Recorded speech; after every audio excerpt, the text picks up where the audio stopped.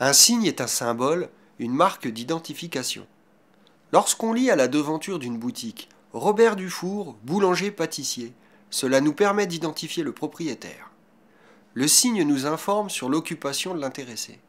Selon le dictionnaire, un signe, c'est une marque distinctive, quelque chose qui sert à représenter un symbole, etc.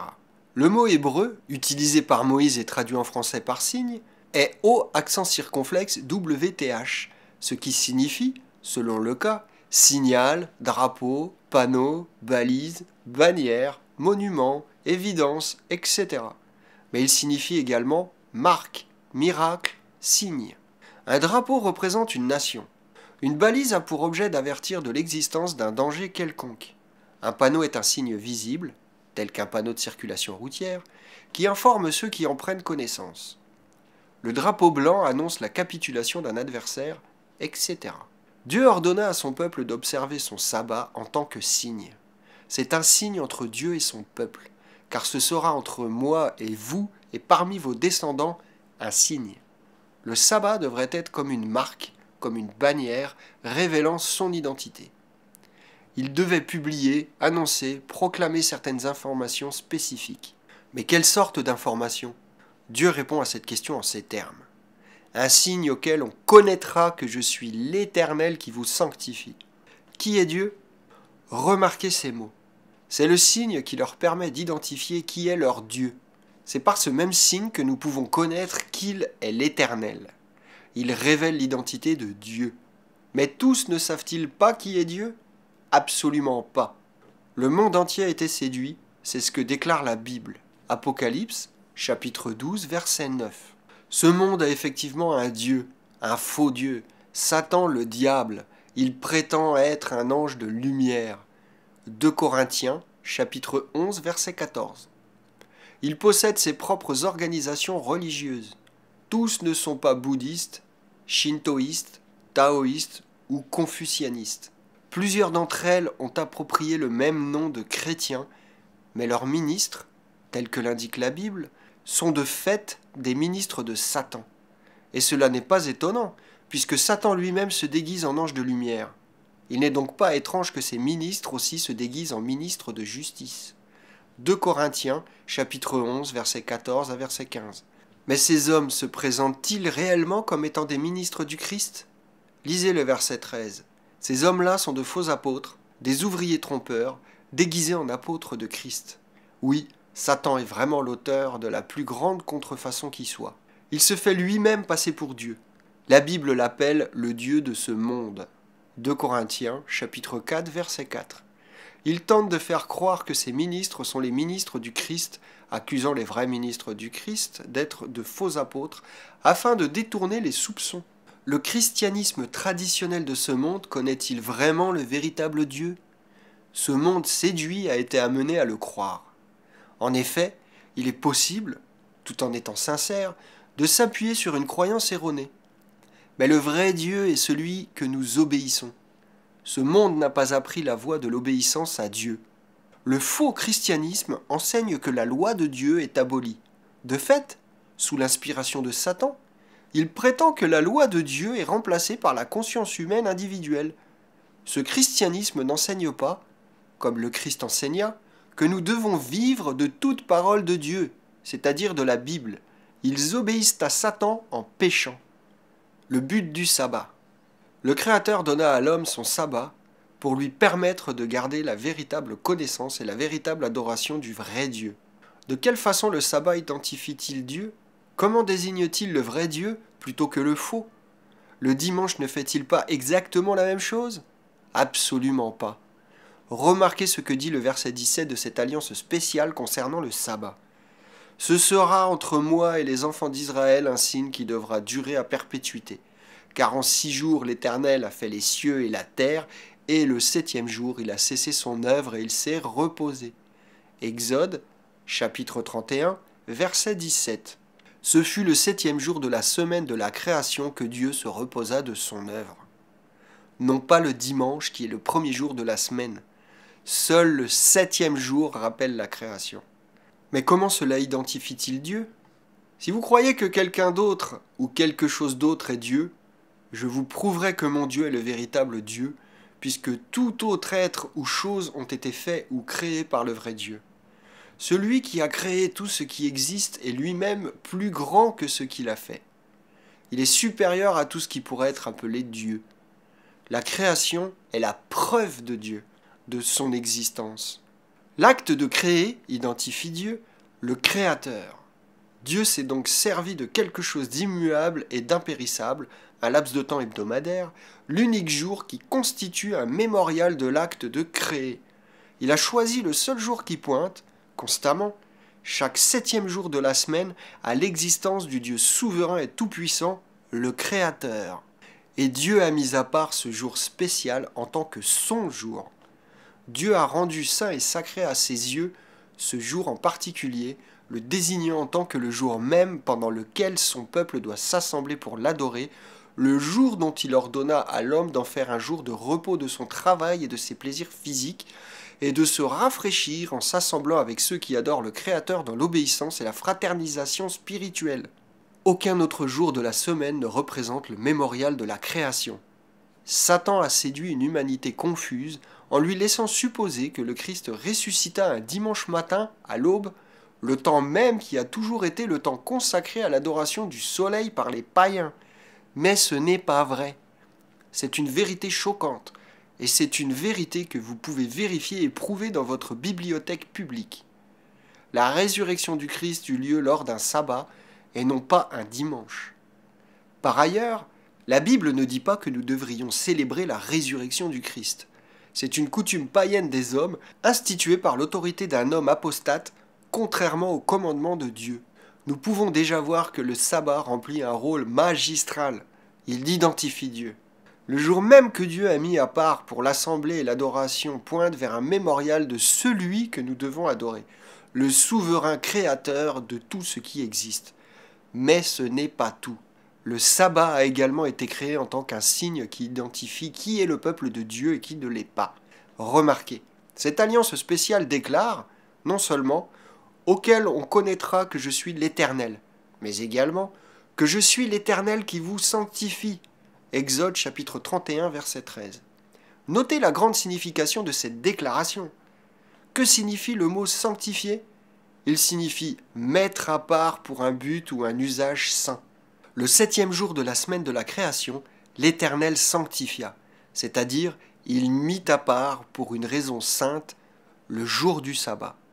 Toutefois, il déclare également que le sabbat est un signe que lui, l'Éternel, sanctifie également ceux qui font partie de son peuple, distinguant son peuple des autres pour son but saint. Dans l'Ancien Testament, la congrégation d'Israël était son peuple. Dans le Nouveau Testament, son peuple est composé de ceux qui font partie de l'Église de Dieu, les véritables chrétiens qui sont vraiment convertis et qui sont engendrés du Saint-Esprit. Mais comment le sabbat les distingue-t-il Les prépare-t-il de ceux qui ne sont pas le véritable peuple appartenant à Dieu? Quiconque observe le sabbat de l'Éternel comme un jour saint connaît la réponse à cette question du fait même qu'il l'observe. Si vous n'avez pas encore observé le sabbat, commencez à le faire. Observez-le comme un jour saint selon le commandement de Dieu, et vous ne tarderez pas à vous apercevoir combien Dieu vous distingue, vous met à part des autres. Votre entourage, vos relations, vos collègues ou associés, votre famille, tous vous distingueront. Eux aussi, ils vous mettront à part. Le sabbat est le signe de Dieu qui, non seulement identifie Dieu en tant que le souverain créateur, mais il identifie également ceux qui font partie de son peuple. Mais comment? Définition de Dieu. Laissez-moi vous donner une autre définition de Dieu. Bien qu'il n'y ait qu'un seul Dieu, un seul être possédant toute sagesse, un seul souverain créateur de l'univers, il existe, néanmoins, beaucoup de faux dieux. Satan se fait passer pour Dieu auprès de ceux qui sont séduits, et la Bible indique qu'il est le Dieu de ce monde. Les idoles ont toujours été adorées comme des dieux. Aujourd'hui encore, on les adore dans beaucoup de prétendues églises chrétiennes. On fait un Dieu de celui ou de ceux que l'on sert, de l'être ou même de la chose, à qui l'on obéit. Le mot Seigneur signifie souverain, maître, celui à qui l'on obéit. Jésus déclara Pourquoi m'appelez-vous Seigneur, Seigneur? Et ne faites-vous pas ce que je dis? Luc chapitre 6 verset 46. Si les gens de son époque ne lui ont pas obéi, c'est parce qu'il n'était pas leur Seigneur. Dans ce cas, pourquoi l'appelait-il Seigneur étant donné qu'il n'était pas leur Seigneur? Le Christ déclara encore, Ceux qui me disent Seigneur, Seigneur, n'entreront pas tous dans le royaume des cieux, mais celui-là seul qui fait la volonté de mon Père qui est dans les cieux.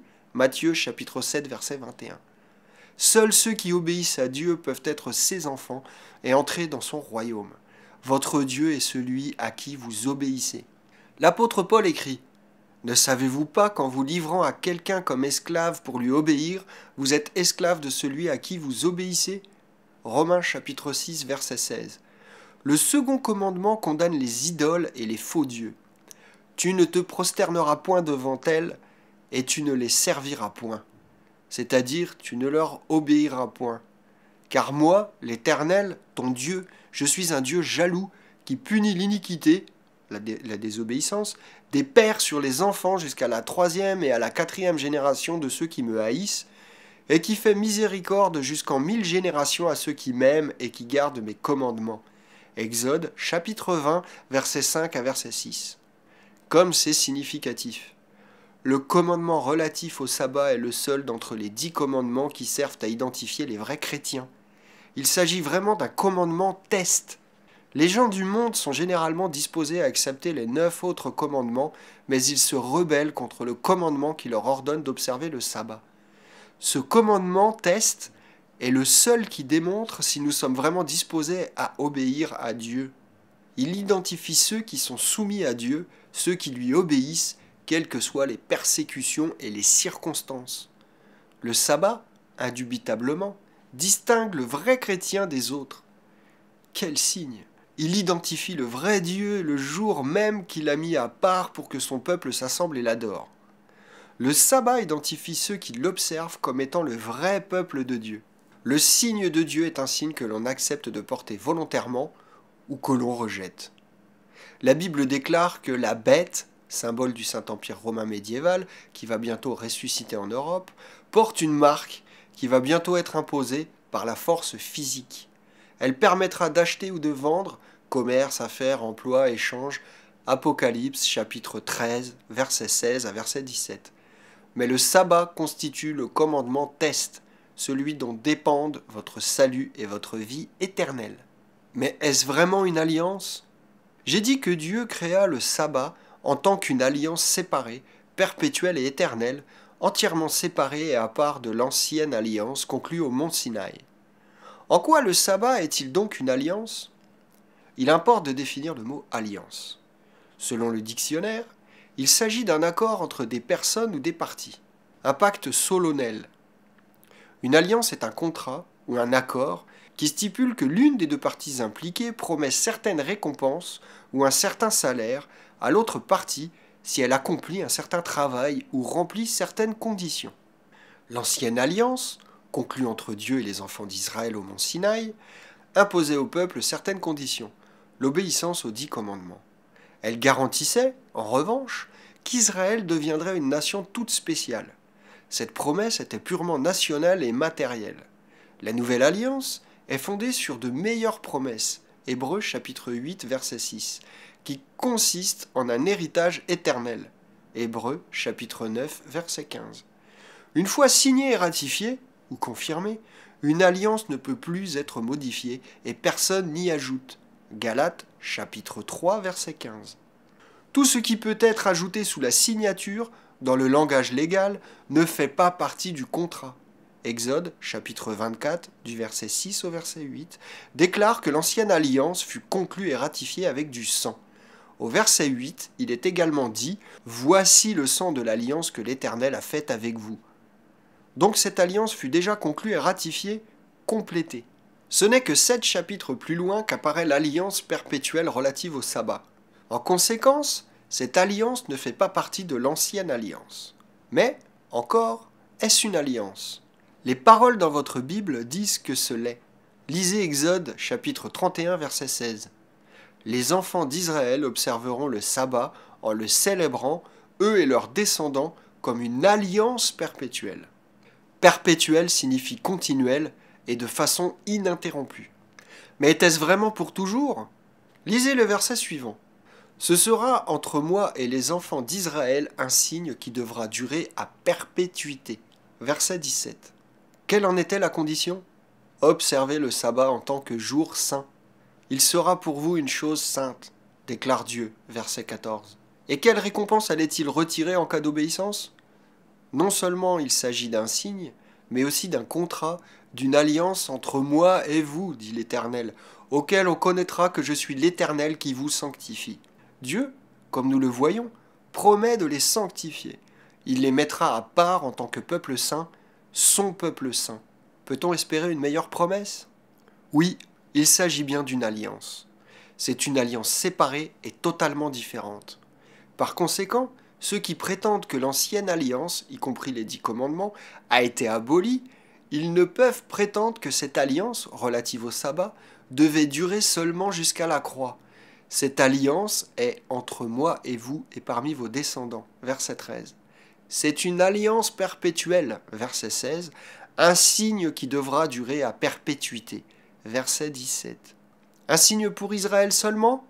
Oui, s'exclament les gens rebelles, qui font tout ce qu'ils peuvent pour ne pas obéir. Ils disent Mais c'est seulement entre Dieu et les enfants d'Israël à travers toute leur génération. C'est entre Dieu et les Israélites à perpétuité. Ces gens admettent que cette alliance est pour toujours et ils pensent qu'elle ne concerne que les Israélites, de génération en génération. Il existe deux réponses à leurs arguments, et ceux qui persistent délibérément à se servir de telles excuses seront condamnés à l'étang de feu. Premièrement, personne ne peut nier que cette alliance ordonne le peuple d'Israël d'observer le sabbat à perpétuité de génération en génération leur génération continue à ce jour.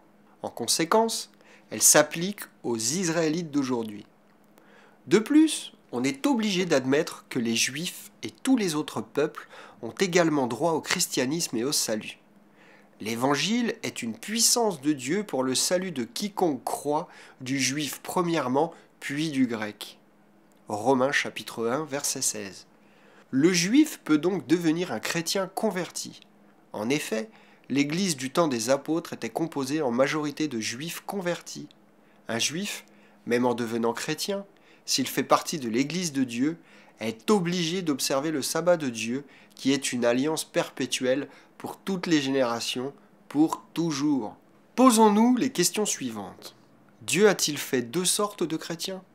Le chrétien juif pécherait-il en n'observant pas le sabbat? Alors que les autres pécheraient en l'observant? Les chrétiens juifs doivent-ils s'assembler chaque sabbat alors que les autres peuples s'assembleraient le dimanche?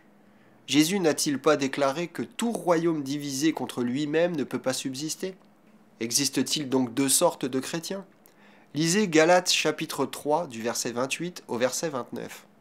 Il n'y a plus ni juif ni grec, il n'y a plus ni esclave ni libre, il n'y a plus ni homme ni femme, car tous vous êtes un en Jésus-Christ.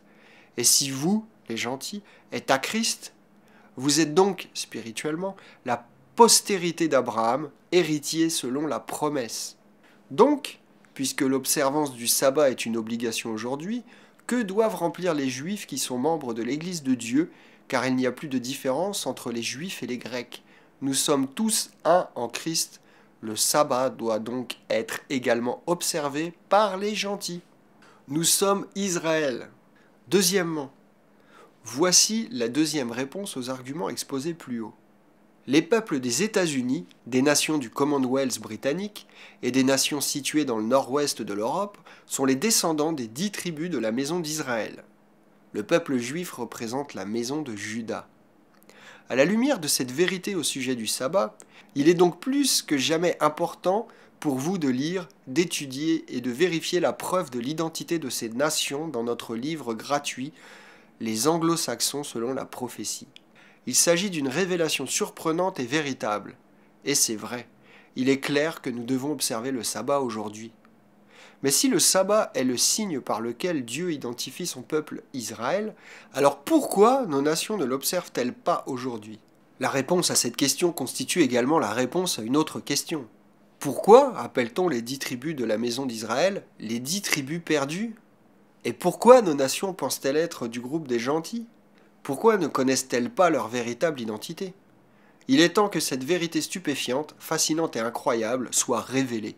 Pourquoi les dix tribus sont devenues perdues Voici une vérité époustouflante, plus qu'étrange qu'un roman de fiction. Voici des faits, passés sous silence à travers les siècles, et qui sont plus mystérieux que le plus mystérieux des romans. Pourquoi tant de gens parlent-ils du sabbat en des termes moqueurs et irrespectueux comme étant le sabbat des juifs? Pourquoi le monde pense-t-il que tous les Israélites sont des juifs et que les juifs incluent tous les Israélites Ceux qui se sont forgés une telle opinion seront surpris d'apprendre que le peuple juif ne représente qu'une petite minorité des Israélites, croyez-le ou non. Le premier endroit dans toute la Bible où l'on trouve le nom juif ou juif est dans 2 Rois chapitre 16 du verset 5 au verset 6. Et, croyez-le ou non, ce passage nous montre que le royaume d'Israël s'était allié à la Syrie pour faire la guerre contre les Juifs. Vous avez bien lu. Israël était en guerre contre les Juifs. Aussi étrange que cela puisse sembler, les enfants d'Israël étaient divisés. Ils étaient devenus deux nations séparées. D'un côté, il y avait le royaume d'Israël, qui avait pour capitale Samarie et non Jérusalem. De l'autre, celui de Juda, dont la capitale était Jérusalem. Voyez à présent quelle histoire étrange se déroula. Après la mort du roi Salomon, la nation d'Israël se rebella contre les impôts très élevés qu'elle devait payer. Salomon, le sage, avait eu un règne de luxe et de splendeur sans pareil dans toute l'histoire du monde. Pour financer ses grands projets, il avait eu recours à des hausses continuelles d'impôts. C'est pourquoi les gens s'adressèrent au roi Roboam, fils de Salomon, pour demander que leur fardeau soit allégé. Mais le roi qui était jeune avait des idées charnelles. Il s'était entouré d'un groupe d'experts ou de petits prodiges. Ils avaient, eux aussi, des idées charnelles. Ils lui donnèrent ce conseil. Dis au peuple que tu leur montreras qui est leur maître impose-leur des impôts encore plus élevés que ne le fit ton père. Roboam dédaigna le conseil des gens plus âgés et plus sages, car il représentait à ses yeux les réactions du temps. C'est alors que le peuple se rebella massivement. Les gens rejetèrent Roboam et choisirent pour roi Jéroboam, qui avait été élevé à un poste important par le roi Salomon. Mais la tribu de Juda n'était pas de cet avis, car Roboam était un des leurs et il voulait le garder comme roi. Alors la tribu de Juda se sépara de la nation d'Israël et constitua ainsi un royaume séparé appelé le royaume de Juda. La tribu de Benjamin la suivit. On les désigna comme étant les Juifs, un surnom pour Juda. Israël perd son signe. La Bible ne parle nulle part des Juifs comme étant l'une des dix tribus d'Israël. Le surnom juif ne s'applique pas qu'au royaume de Juda. Les Juifs sont véritablement des Israélites mais une partie seulement des Israélites sont des Juifs. À peine nommé roi, Jéroboam, craignant que le peuple, en se rendant à Jérusalem pour observer les jours saints annuels, ne soit tenté de retourner avec Roboam, prit des mesures draconiennes afin de protéger son trône. La tribu de Lévi représentait le sacerdoce. Les Lévites avaient formé jusque-là la classe dirigeante, les leaders, c'étaient les gens les plus éduqués. Du fait qu'ils avaient vécu grâce aux dîmes, leur revenu avait été de deux à trois fois supérieur à celui des autres tribus. Jéroboam s'empressa de destituer les Lévites, désignant pour la prêtrise les plus ignorants et les plus démunis. De cette façon, il pouvait en faire ce qu'il voulait. Il pouvait désormais contrôler la religion de la même façon que les rois païens sur leur nation. À la suite de cette mesure, la plupart pour ne pas dire l'ensemble, des Lévites retournèrent dans le royaume de Juda et passèrent désormais pour des Juifs. À peine assis sur le trône, Jéroboam fit ériger deux idoles pour le peuple. Puis il supprima la fête divine automnale du septième mois, y compris les sabbats annuels, et en institua une lors du huitième mois, désignant un site différent de Jérusalem au nord de la Palestine. 1 roi chapitre 12 verset 28 au verset 32. Durant le règne de chacun des dix-neuf rois et neuf dynasties différentes qui se succédèrent sur les dix tribus de la maison d'Israël, la décadence s'accentua, et les deux plus graves péchés qu'avait commis Jéroboam contre Dieu furent perpétués. Ces deux graves péchés étaient, bien entendu, l'idolâtrie et la transgression du sabbat. Plusieurs d'entre les 19 rois qui régnèrent sur le royaume d'Israël y ajoutèrent d'autres pratiques iniques et abominables. Israël en esclavage. Mais entre 721 et 718 avant notre ère, Dieu fit en sorte que la maison d'Israël soit envahie et conquise par le royaume d'Assyrie. Ces Israélites furent expulsés de leurs fermes et de leurs villes. Ils furent emmenés captifs en Assyrie sur la rive sud de la mer Caspienne en tant qu'esclaves. Mais la maison de Juda, les Juifs, une nation différente et séparée, ne fut pas envahie avant 604 avant notre ère. Deux ou trois générations après la captivité de la maison d'Israël, les Chaldéens devinrent une puissance mondiale, formant le premier empire mondial. Ces Chaldéens, de Babylone, sous Nebuchadnezzar, envahirent Juda, 604 à 685 avant notre ère.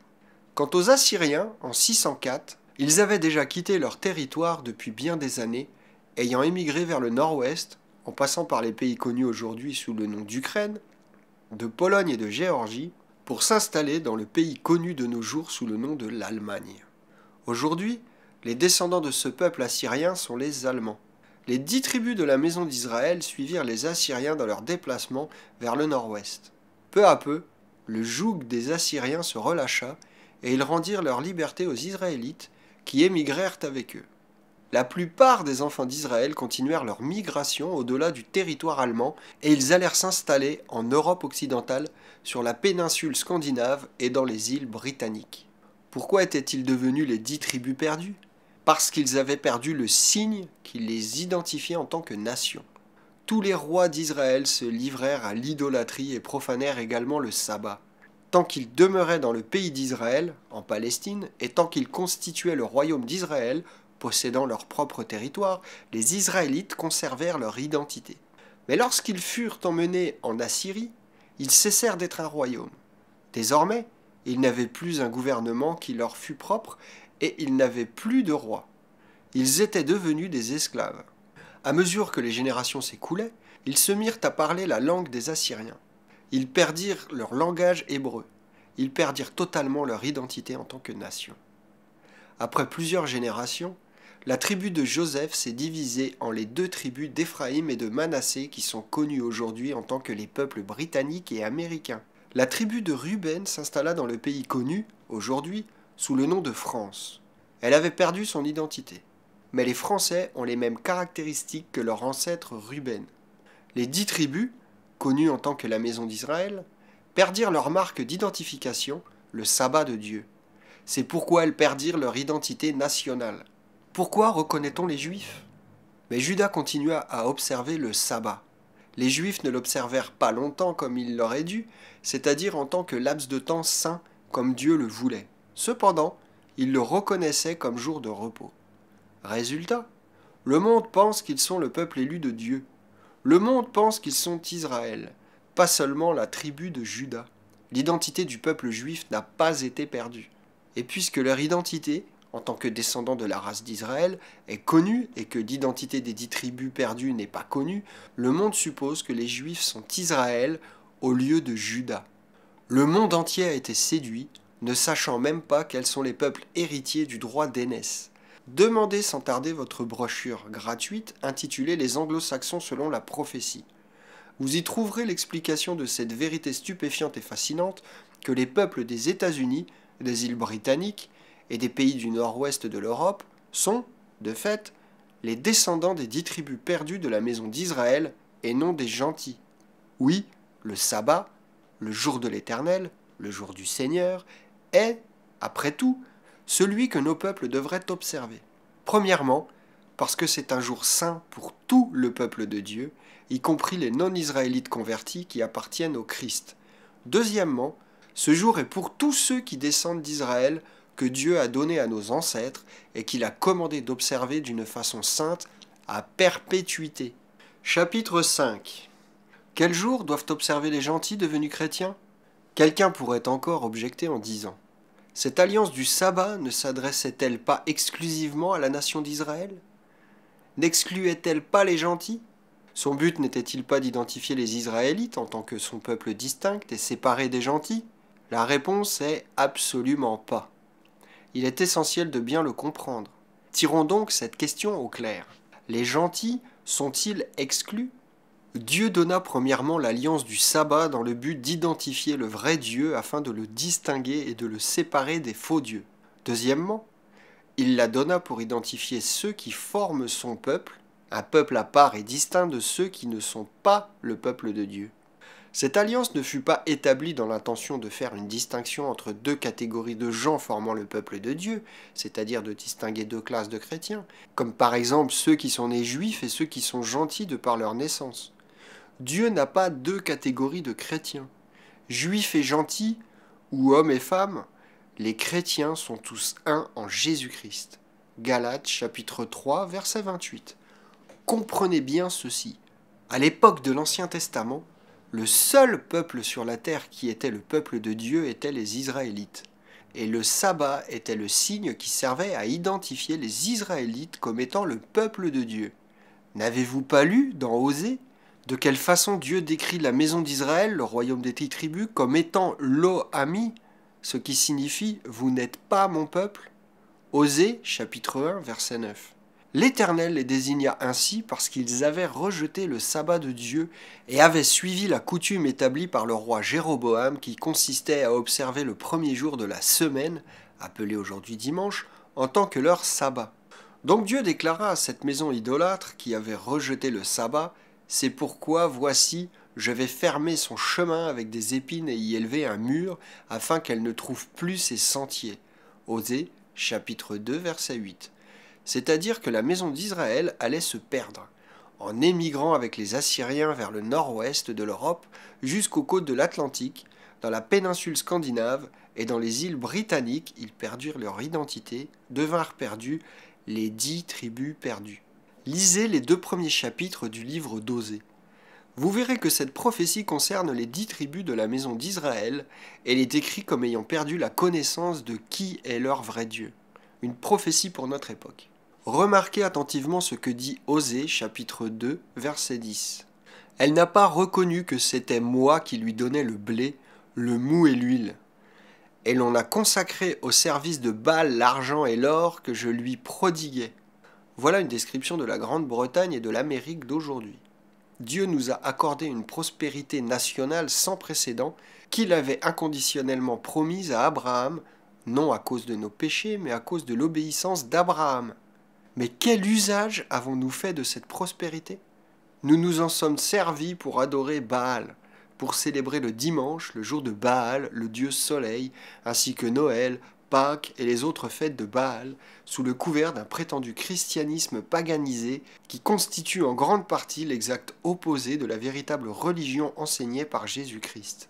Voyez à présent, au verset 11, ce que Dieu fera bientôt à cause de tout cela. C'est pourquoi je reprendrai mon blé en son temps et mon mou dans sa saison. Il s'agit ici d'une famine qui commence déjà, en ce moment, à faire ses ravages et qui a été prophétisée par Joël, Ézéchiel, le Christ et dans l'Apocalypse. Oui, il s'agit bien d'une prophétie pour notre époque, pour notre peuple. Elle est même en voie d'accomplissement au moment où vous lisez cette brochure. Continuez, notez ce que Dieu va bientôt nous faire. Je ferai cesser toute sa joie, ses fêtes. Ceux de Bâle, Noël, Nouvel An, Pâques, le temps du carême, l'Halloween. Ce ne sont pas les jours du Seigneur. Continuons. Ces nouvelles lunes, ces sabbats, pas ceux de Dieu, mais ceux du baalisme, ce que notre peuple appelle leur sabbat, le dimanche païen, verset 13. Dieu continue. Je la châtirai pour les jours où elle encensait les Baals et m'oubliait, dit l'Éternel. Verset 15.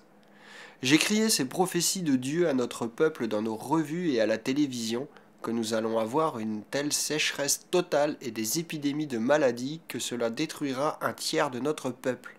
Et à moins que notre peuple en tant que nation se réveille et se repente de ses péchés, nous serons alors envahis. Une fois de plus, nous serons pris en captivité comme des esclaves. Vous pouvez moquer, vous pouvez ignorer, mais pas pour longtemps. Cela se passera dans un avenir rapproché. Vous ne vous moquerez pas en ces temps-là. Mais quelle sera la fin de cette prophétie particulière que l'on trouve dans Osée? Lisez vous-même la réponse dans la Bible. C'est pourquoi voici, je veux l'attirer, et là, Israël, conduire au désert, en esclavage et en captivité, et je parlerai à son cœur en ce jour-là. Au moment de la seconde venue de Christ, dit l'Éternel, tu m'appelleras mon mari, et tu ne m'appelleras plus mon maître, Baali.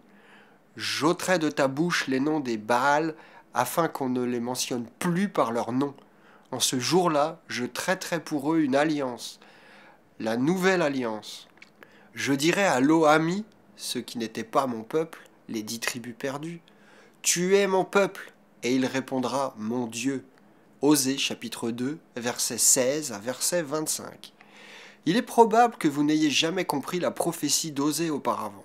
On ne peut en saisir la signification avant de comprendre d'abord ce qu'est l'alliance du sabbat relatée dans Exode chapitre 31, verset 12 à verset 17.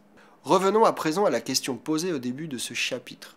Cette alliance spéciale du sabbat n'exclut-elle pas les gentils?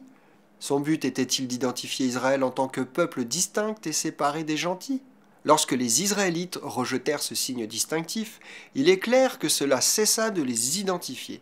Ils n'avaient évidemment plus ce qui les distinguait des gentils, ils en arrivèrent, par conséquent, à croire qu'ils étaient des gentils. Les nations du monde les appelaient gentils. Le peuple juif les appelait également des gentils. Or le peuple juif, quant à lui, continua de reconnaître le sabbat. C'est pourquoi le monde entier l'appelle le peuple choisi, une lumière pour les gentils. Pourquoi alors Dieu a-t-il conclu cette alliance, éternelle et spéciale, de sabbat avec Israël et non avec les nations gentilles? Tout simplement parce que toutes les nations gentilles s'étaient totalement coupées de Dieu. Elles avaient toutes sombré dans l'idolâtrie. Aucune d'elles ne connaissait le véritable Dieu. Dieu avait choisi un peuple opprimé et réduit à l'esclavage, qui se distinguait néanmoins par une hérédité supérieure à cause de ses ancêtres Abraham, Isaac, Jacob et Joseph. Les Israélites n'avaient été inoculés par aucune religion. Dieu les prit pour en faire sa nation. En outre, Dieu avait donné ses voies justes à ce peuple formant sa nation. Et pourquoi? Afin qu'il soit une lumière pour les gentils. Dieu l'a fait pour montrer aux autres nations quelle bénédiction découlerait de l'obéissance à ses lois. Il voulait qu'Israël soit un exemple pour les autres nations. Dieu donna à Israël ses voies justes et toutes ses promesses, y compris le salut par le Christ, pour que ses voies et ses bénédictions soient connues des gentils et qu'elles leur soient accessibles. Toutes les autres nations avaient perdu la connaissance de Dieu, elles avaient perdu la connaissance de son identité. Leurs ancêtres avaient connu auparavant qui Dieu était. Mais tant de faux dieux et de demi-dieux imaginaires avaient été érigés dans leur esprit pour servir d'intermédiaire entre les êtres humains et le Dieu suprême que toute connaissance du seul vrai Dieu avait disparu. Au début de l'humanité, Dieu parla à Adam et Ève en personne. Il les introduisit et leur proclama son évangile. Ils savaient que Dieu leur offrait la vie éternelle comme son don. Ils savaient également que le salaire du péché est la mort, mais ils suivirent leur propre raisonnement de façon à contourner cette vérité, tout comme certains d'entre vous qui lisent ceci raisonnent autour de ce que Dieu veut vous donner. Adam et Ève se sont rebellés. Ils ont de plein gré obéi à Satan. Dieu a créé l'homme possédant le libre arbitre. Dieu a toujours rendu sa vérité disponible, et Dieu a décrété que l'homme doit choisir. Dieu ne permet pas à l'être humain de décider de ce qu'est le péché, mais Dieu contraint chacun à décider si, oui ou non, il péchera. Pour Dieu, la transgression du sabbat constitue un péché. Vous devez décider. Et vous récolterez ce que vous aurez semé. Les enfants d'Adam ont pris leur décision. Abel a fait le bon choix. Jésus-Christ a dit qu'Abel était juste. Sa récompense est assurée. Caïn a fait le mauvais choix et décida ainsi de son propre sort. Environ 2000 ans plus tard, un seul homme sur toute la terre, Noé, obéissait à Dieu. Plus tard, Sem a apparemment suivi la voie de Dieu. Mais après le déluge, le reste de l'humanité suivit Nimrod, qui fut le fondateur de la civilisation de ce monde. L'humanité a donc pris sa décision. Elle s'est rebellée contre les voies justes de Dieu. Elle a volontairement suivi les séductions et les tromperies de Satan des coutumes et des usages d'adoration qui sont hostiles à Dieu. Ainsi, les générations successives ont perdu la connaissance du vrai Dieu. Pourquoi la nation d'Israël? Tel était l'état du monde d'alors, totalement coupé de Dieu. Et l'Éternel appela un peuple méprisé, humilié, réduit à l'esclavage, des descendants d'Abraham. Ils écoutèrent et obéirent à Dieu. Il semble qu'en raison de ce qu'est la nature humaine et de la dégradation à laquelle elle peut conduire, Dieu ait dû prendre un peuple d'esclaves opprimés et dévalorisés parce qu'ils étaient les seuls à être assez humbles pour écouter et obéir au Créateur. Mais souvenez-vous que, même réduit à l'esclavage par les circonstances, ils n'en demeuraient pas moins un peuple supérieur par leur hérédité. Dieu voulut donc donner à toutes les autres nations leur chance par l'intermédiaire d'Israël, le peuple choisi. Dieu parle de ce peuple en ces termes. Le peuple que je me suis formé publiera mes louanges. Ésaïe chapitre 43 verset 21. Il voulait que ce peuple soit son instrument. Les autres nations seraient alors témoins des bénédictions extraordinaires et de la prospérité nationale, inouïe, que recevrait le peuple d'Israël s'il obéissait, et elles voudraient l'imiter. Évidemment, les Israélites avaient en eux la nature humaine. Mais cette nation, pour laquelle Dieu a accompli pourtant les miracles les plus étonnants et les plus prodigieux, ne suivit jamais très longtemps les voies de Dieu. Mais à travers eux, Dieu a enlevé toutes les excuses de ceux qui se rebellent. L'humanité s'est vue accorder toutes les chances de se repentir de sa mauvaise voie. Plus tard, au cours du ministère terrestre du Christ, et après, Dieu se servit de son Église dans ce même but. L'Église se compose d'individus qui sont appelés. Le Christ utilise l'Église non seulement pour prêcher son évangile au monde, mais aussi pour montrer au monde les résultats enviables que procure l'obéissance. Tout comme l'ancienne nation d'Israël, l'Église devrait donc être une lumière pour le monde. Vous êtes la lumière du monde, a dit Jésus-Christ à ses disciples. Que votre lumière luise ainsi devant les hommes, afin qu'ils voient vos bonnes œuvres. Matthieu chapitre 5, versets 14 et 16. Il s'agit bien de donner l'exemple. Il faut que le monde voie ses bons fruits et ses heureux résultats. Les voies justes, que Dieu a établies et traduites par des lois vivantes et inexorables, ne s'adresse pas uniquement au peuple juif, elle s'adresse à toute l'humanité. Le sabbat était fait pour l'homme, et non pour les juifs exclusivement. Les Éphésiens étaient des gentils. Pourtant, ils reçurent l'évangile du Christ, se repentirent, crurent et obéirent. Ils devinrent ainsi des chrétiens convertis. Paul écrivit à ces chrétiens qui étaient gentils de par leur naissance, C'est pourquoi, vous autrefois païens dans la chair, Souvenez-vous que vous étiez en ce temps-là sans Christ, privés du droit de citer en Israël, étrangers aux alliances de la promesse sans espérance et sans Dieu dans le monde. Mais maintenant, en Jésus-Christ, vous qui étiez jadis éloignés, vous avez été rapprochés par le sang de Christ. Ainsi donc, vous n'êtes plus des étrangers ni des gens du dehors, mais vous êtes concitoyens des saints, gens de la maison de Dieu. Éphésiens chapitre 2 du verset 11 au verset 19 les gentils ne sont pas exclus. Pour devenir un chrétien converti, un individu doit devenir, spirituellement, un Israélite. Le salut, tel que mentionné auparavant, s'adresse à quiconque croit du juif premièrement, puis du grec. Romains chapitre 1, verset 16. Mais les gentils n'étaient-ils pas exclus à l'époque de l'Ancien Testament? Non, ils ne l'étaient pas. Ce que Dieu donna à Israël s'adressait également aux gentils le sabbat fut donné aux gentils tout autant qu'aux Israélites. En voulez-vous la preuve? La voici. Les gentils ont toujours eu la possibilité de se joindre à la congrégation, D'Israël, et plusieurs le firent. Même lorsque les enfants d'Israël se mirent en marche pour quitter l'Égypte, une multitude de gens de toute espèce montèrent avec eux. Exode chapitre 12 verset 38. Ils étaient des gentils. Dans les instructions pour l'observance de la Pâque, Dieu dit si un étranger, un gentil, en séjour chez toi veut faire la Pâque de l'Éternel, tout mâle de sa maison devra être circoncis. Alors il s'approchera pour la faire, et il sera comme l'indigène. Exode chapitre 12, verset 48. Nous lisons encore au verset 49, La même loi existera pour l'indigène comme pour l'étranger en séjour au milieu de vous. Les gentils ont donc toujours eu cette possibilité d'être des citoyens naturalisés d'Israël. Plusieurs milliers l'ont fait. Laissons le prophète Ésaïe, dans une prophétie pour notre époque, nous dire si le sabbat était uniquement pour les juifs. Sabbat pour les gentils aujourd'hui. Jésus-Christ a déclaré que le sabbat était fait pour l'homme. Non pas uniquement pour les juifs, non pas uniquement pour les israélites, mais pour l'homme. Il a été fait pour Adam. Il a été fait pour l'homme du XXe siècle et du XXIe siècle.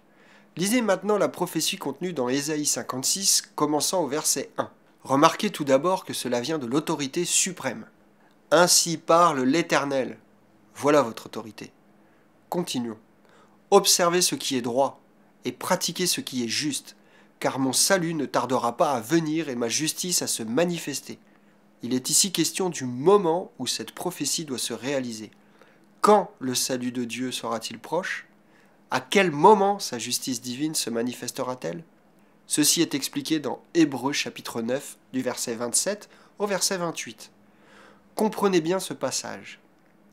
Et comme il est réservé aux hommes de mourir une seule fois, après quoi vient le jugement, de même Christ, qui s'est offert une seule fois pour porter les péchés de plusieurs, apparaîtra sans péché une seconde fois à ceux qui l'attendent pour leur salut. Le Christ apportera le salut lorsqu'il paraîtra pour la seconde fois. La dernière partie de la citation que nous venons de lire serait plus justement rendue en ces termes. À ceux qui, sans péché, l'attendent, il paraîtra une seconde fois pour leur salut. La version standard révisée le rend en ces termes. Ainsi le Christ, ayant été offert une fois pour porter les péchés de plusieurs, apparaîtra une seconde fois, pas pour prendre des mesures concernant le péché, mais pour sauver ceux qui attendent le Christ avec impatience. Quand le salut du Christ paraîtra-t-il? Apocalypse chapitre 12 verset 10 nous en fournit l'explication. Maintenant le salut est arrivé, et la puissance et le règne de notre Dieu et l'autorité de son Christ. Il s'agit donc de l'époque du second avènement du Christ. Jésus a dit, Voici, je viens bientôt, et ma rétribution est avec moi pour rendre à chacun selon ce qui est son œuvre. Apocalypse chapitre 22 verset 12. Il est ici question du second avènement du Christ. La prophétie d'Ésaïe doit donc s'accomplir tout juste avant le second avènement du Christ. Il est évident qu'il s'agit de l'époque dans laquelle nous vivons. Aujourd'hui, notez ce que le Christ, l'autorité suprême, déclare. Heureux l'homme qui fait cela, et le Fils de l'homme qui y demeure ferme, gardant le sabbat pour ne point le profaner, et veillant sur sa main pour ne commettre aucun mal, que l'étranger, le gentil, qui s'attache à l'Éternel ne dise pas L'Éternel me séparera de son peuple. Ésaïe chapitre 56 du verset 2 au verset 3. Remarquez bien cela. Aujourd'hui, en ce 21e siècle, qu'aucun gentil qui s'est converti pour s'attacher au Seigneur Jésus-Christ ne dise que le Christ le sépara du peuple de Dieu, Israël. Non, le sabbat n'était définitivement pas un signe qui avait pour but de séparer les gentils des Israélites. Les gentils n'étaient pas exclus. Continuez dans les versets 6 et 7. Et les étrangers, les gentils, qui s'attacheront à l'Éternel, qui deviennent chrétiens, pour le servir, pour aimer le nom de l'Éternel, pour être ses serviteurs, tous ceux qui garderont le sabbat, pour ne point le profaner et qui persévéreront dans mon alliance, je les, les gentils, amènerai sur ma montagne sainte et je les réjouirai dans ma maison de prière. Voilà une preuve manifeste. Ce chapitre du livre d'Ésaïe commence par un irréfutable Ainsi parle l'Éternel.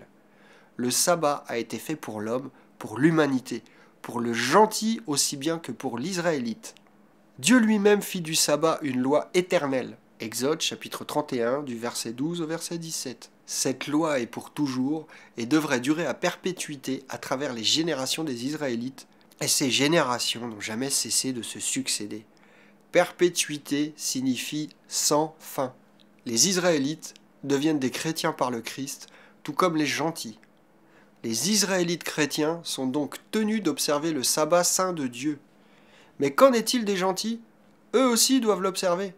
Ils deviennent Israélites, spirituellement parlant, lorsqu'ils reçoivent le Saint-Esprit de Dieu et deviennent vraiment convertis. Dieu n'a pas établi une voie pour le juif et une autre pour le gentil. Il n'a pas institué un jour d'adoration pour le juif et un autre pour le gentil. Le Christ n'est pas divisé. Dieu ne fait pas acception de personne. Nous sommes tous un en Jésus-Christ. Chapitre 6 Pourquoi Israël et Juda furent réduits à l'esclavage? Quels furent, au juste, les péchés de Jéroboam dont il est si souvent question dans les livres des rois et des chroniques qui relatent l'histoire de l'ancienne nation d'Israël? Tout ce qui constitue un péché pour un Israélite est un péché pour un gentil. Dieu a mis en mouvement sa loi dans un but bien précis. Il voulait que nous soyons heureux. Toutes les misères humaines, toutes les guerres, chaque instant de souffrance et de malheur ne sont rien d'autre que les résultats du péché. Le péché prive les êtres humains du bonheur, de la joie et de la prospérité. Dieu aime les êtres humains. Il hait le péché parce que le péché est l'ennemi de l'homme. Dieu punit à cause du péché. Si vous prenez le péché à la légère, si vous pensez que Dieu ne voit pas et ne punit pas à cause du péché, il vous faut connaître, dès à présent, comment Dieu a agi avec son peuple choisi lorsque les Israélites transgressèrent son sabbat. Pourquoi Israël fut réduit à l'esclavage? Savez-vous pourquoi le royaume d'Israël fut envahi par l'Assyrie, conquis et déporté, réduit à l'esclavage entre 721 et 718 avant notre ère? Pourquoi les Juifs, le royaume de Juda, furent-ils emmenés captifs et éparpillés sur la face de la terre? Les maisons d'Israël et de Juda durent être châtiées et expulsées de Palestine parce qu'elles transgressaient le sabbat. Quelle différence cela fait-il? Cela certainement fait une grande différence pour Dieu. Et il nous dit qu'il ne change pas. Il est le même hier, aujourd'hui et éternellement. Hébreux chapitre 13 verset 8. Il nous importe de savoir, en premier lieu, pourquoi le royaume de Juda fut envahi et conquis par Nebuchadnezzar, et pourquoi il dut subir la captivité à Babylone entre 604 et 585 avant notre ère. 70 ans après cette captivité, selon la prophétie de Jérémie, Jérémie chapitre 29 verset 10, un grand nombre de Juifs retournèrent en Palestine pour y rebâtir le temple, pour y réinstituer l'adoration. Le prophète Néhémie nous explique pourquoi ils avaient été emmenés captifs 70 ans plus tôt.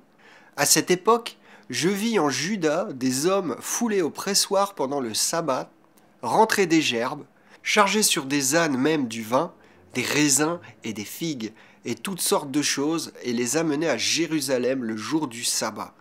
Et je leur donnais des avertissements le jour où ils vendaient leurs denrées. Je fis des réprimandes aux grands de Juda, et je leur dis Que signifie cette mauvaise action que vous faites en profanant le jour du sabbat? N'est-ce pas ainsi qu'ont agi vos pères? Et n'est-ce pas à cause de cela que notre Dieu a fait venir tous ces malheurs sur nous et sur cette ville? Et vous, vous attirez de nouveau sa colère contre Israël en profanant le sabbat? Néhémie, chapitre 13, verset 15 à verset 18. On ne peut être plus clair. Le fait de transgresser le sabbat fut la cause principale de la captivité de Juda. C'était tellement important pour Dieu qu'il châtia son propre peuple élu en lui faisant subir le châtiment le plus sévère, la défaite au combat, en sorte qu'ils perdissent leurs terres et leurs biens et fussent réduits à l'esclavage dans une terre étrangère. Dieu définit le péché comme étant la transgression de sa loi. 1 Jean chapitre 3 verset 4, laquelle inclut également le sabbat. Souviens-toi du jour du repos, le sabbat, pour le sanctifier. Le septième jour est le jour du repos de l'Éternel ton Dieu. Travailler le jour du sabbat, le profaner en cherchant à faire ce qui nous plaît, en faisant des affaires, etc., constitue un péché majeur punissable par la mort éternelle. Romains chapitre 6 verset 23. La maison de Judas fut avertie. La maison de Judas était sans excuse. Les prophètes les avaient avertis. Remarquez l'avertissement que leur donna l'Éternel par la bouche de Jérémie. Ainsi parle l'Éternel. Prenez garde à vos âmes. Ne portez point de fardeau le jour du sabbat. Ne faites aucun ouvrage, mais sanctifiez le jour du sabbat, comme je l'ai ordonné à vos pères. Mais si vous n'écoutez pas quand je vous ordonne de sanctifier le jour de sabbat, de ne porter aucun fardeau, de ne point en introduire par les portes de Jérusalem le jour du sabbat, alors j'allumerai un feu aux portes de la ville, et il dévorera les palais de Jérusalem et ne s'éteindra point. Jérémie chapitre 17 versets 21 à 22 et 27. Tel était l'avertissement. La maison de Judas n'a pas tenu compte. Maintenant voyez ce qui s'est passé. Le dixième jour du cinquième mois, c'était la dix-neuvième année du règne de Nebuchadnezzar, roi de Babylone. Nebuzaradan, chef des gardes, aujourd'hui on l'appellerait le général en chef ou le maréchal des armées, au service du roi de Babylone, vint à Jérusalem. Il brûla la maison de l'Éternel, la maison du roi et toutes les maisons de Jérusalem. Il livra au feu toutes les maisons de quelque importance. Jérémie chapitre 52 du verset 12 au verset 13. Lorsque Dieu avertit, la punition est sûre. Pourquoi Israël fut-il vaincu? Souvenez-vous de ce qui s'est passé avec les autres nations israélites, le royaume d'Israël, 117 ans avant la captivité de Juda. Dieu, à l'époque de Moïse, avait averti des conséquences apportées par le choix que son peuple ferait longtemps avant qu'il ne se scindât en deux nations. Voyez-le dans Lévitique 26. Vous ne ferez point d'idole, vous ne vous élèverez ni image taillée pour vous prosterner devant elle. Car je suis l'Éternel votre Dieu. Vous observerez mes sabbats et vous révérerez mon sanctuaire. Je suis l'Éternel. Versets 1 et 2. Dans cette prophétie clé, Dieu promit de grandes bénédictions à condition que les Israélites obéissent, mais il promit, par contre, de terribles malédictions s'ils se rebellaient. Dans ce passage, remarquez que deux commandements seulement sont mentionnés. Ce sont précisément ceux qui défendent l'idolâtrie et la transgression du sabbat. Voyez à quel point ils sont importants. Si vous suivez mes lois, si vous gardez mes commandements et les mettez en pratique, Dieu leur assurait une grande prospérité, des récoltes abondantes, la paix et une prédominance nationale devant même les conduire à une domination mondiale. Verset 3 à verset 13. Mais Dieu déclara également, versets 14 à 33, que si, au contraire, ils refusaient d'obéir à ses commandements, ils souffriraient de divers maux et maladies. Ils perdraient toute leur prospérité pendant 2520 ans. Ils seraient envahis, conquis et arrachés de leur pays pour être conduits, comme esclaves, dans les pays de leurs ennemis. Rappelez-vous que Dieu conclut avec eux une alliance éternelle concernant le sabbat. Exode chapitre 31 du verset 12 au verset 17. Le sabbat constituait le signe national leur permettant d'identifier le vrai Dieu et par lequel ils seraient, à leur tour, identifiés en tant que son peuple. Après la division des Israélites en deux nations lorsque le royaume d'Israël choisit Jéroboam en tant que roi, la première chose que ce roi a fait était d'introduire l'idolâtrie et la transgression du sabbat. Alors, conformément à l'avertissement que Dieu leur avait lancé, ceci eut pour résultat une invasion nationale par le roi Salmanazar d'Assyrie, la défaite, la captivité et leur déportation comme esclaves en Assyrie, 721 à 718 avant notre ère. Voyez à présent ce que Dieu déclare à ce sujet par le prophète Ézéchiel. Ézéchiel reçut un message de la part de Dieu à l'intention de la maison d'Israël, pas de la maison de Juda. Ézéchiel se trouvait alors parmi les captifs juifs. Il avait été emmené avec les prisonniers juifs, le royaume de Juda, lors de leur captivité qui eut lieu plus de cent ans après celle de la maison d'Israël. À l'époque, les Assyriens avaient été vaincus par le roi de Babylone. Plus tard, le reste des Assyriens et leurs captifs israélites avaient quitté l'Assyrie sur la rive sud de la mer Caspienne et ils avaient émigré en direction du nord-ouest pour s'installer dans le territoire connu aujourd'hui sous le nom d'Allemagne. La maison d'Israël avait également émigré vers le nord-ouest à travers l'Europe. Cependant, elle ne s'arrêta pas en Allemagne. Elle continua son chemin vers le nord-ouest, vers l'Europe occidentale, et elle alla s'installer en France, en Belgique, en Hollande, dans les pays scandinaves et dans les îles britanniques, où elle se trouve encore actuellement, à l'exception de Manassé, qui émigra plus tard en Amérique du Nord et qui devint les États-Unis. Le prophète Ézéchiel reçut pour mission d'aller, d'où il était parmi les Juifs, vers la maison d'Israël. Va, parle à la maison d'Israël, déclare Dieu. Ézéchiel chapitre 3 verset 1. Mais Ézéchiel n'a jamais apporté ce message à la maison perdue d'Israël. Il ne pouvait pas. Il était un esclave. Pourtant, il leur apporte ce message aujourd'hui en l'ayant écrit dans son livre de la Bible, et par le fait que ce message est déclaré à ce peuple même aujourd'hui. C'est une prophétie, c'est un message pour nos peuples aujourd'hui, que Dieu nous aide à en tenir compte. Prophétie pour nous aujourd'hui. Parlant premièrement de l'ancien Israël, Dieu dit dans Ézéchiel 20, Et je les fis sortir du pays d'Égypte et je les conduisis dans le désert je leur donnai mes lois et leur fis connaître mes ordonnances que l'homme doit mettre en pratique afin de vivre par elles. Je leur donnai aussi mes sabbats comme un signe entre moi et eux, pour qu'ils connussent que je suis l'Éternel qui les sanctifie. Verset 10 à verset 12. Notez les mots dans Exode, chapitre 31, du verset 12 à verset 17, précisant que l'alliance du sabbat est obligatoire pour toujours. Continuons. Et la maison d'Israël se révolta contre moi dans le désert. Ils ne suivirent point mes lois, et ils rejetèrent mes ordonnances, et ils profanèrent à l'excès mes sabbats. Verset 13. Alors Dieu a plaidé avec leurs enfants une génération plus tard. Remarquez, je dis à leurs fils dans le désert, ne suivez pas les préceptes de vos pères, n'observez pas leurs coutumes et ne vous souillez pas par leurs idoles. Je suis l'Éternel, votre Dieu.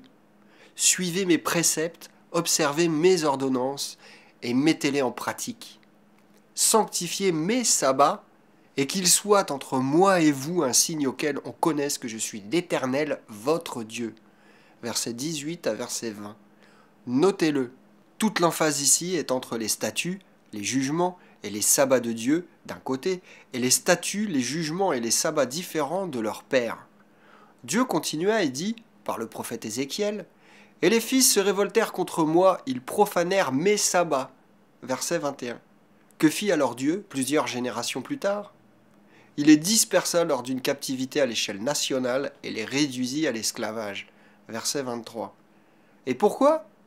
Parce qu'ils ne mirent pas en pratique mes ordonnances, parce qu'ils rejetèrent mes préceptes, profanèrent mes sabbats et retournèrent leurs yeux vers les idoles de leurs pères. Verset 24.